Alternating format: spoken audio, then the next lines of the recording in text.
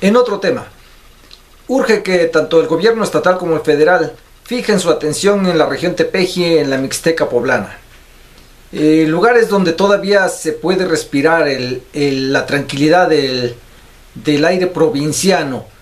Cuenta con poblaciones sumamente hermosas que podrían considerarse como pueblos mágicos. Cuenta con paisajes, con exuberante vegetación, con ríos, con sitios arqueológicos, con historia y prehistoria. Eh, la región Tepeji cuenta con todo lo necesario para que incluso se le invierta en el turismo.